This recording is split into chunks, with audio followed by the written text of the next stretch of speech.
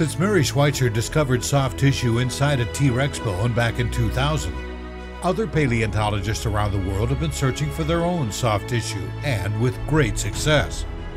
It's not an isolated discovery. It seems one big event wiped out the dinosaurs not that long ago.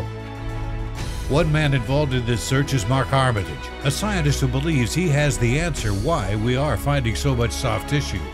He uses his biblical worldview to guide his science.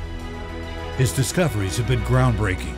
He uses his expertise in microscopes to reveal incredible evidence that dinosaurs lived just a few thousand years ago.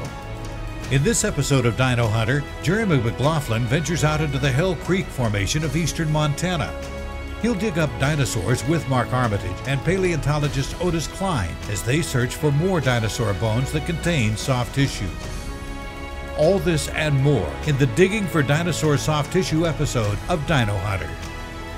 Order this episode on DVD with a digital HD copy or rent or buy on VOD.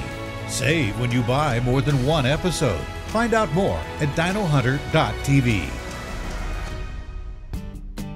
This program is also available on our new subscriber TV network, Awesome Sci TV.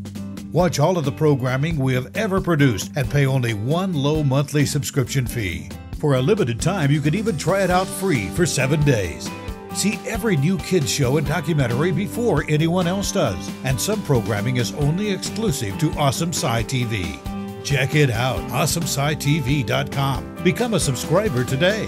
Watch Dino Hunter episodes now on Awesome Sci TV.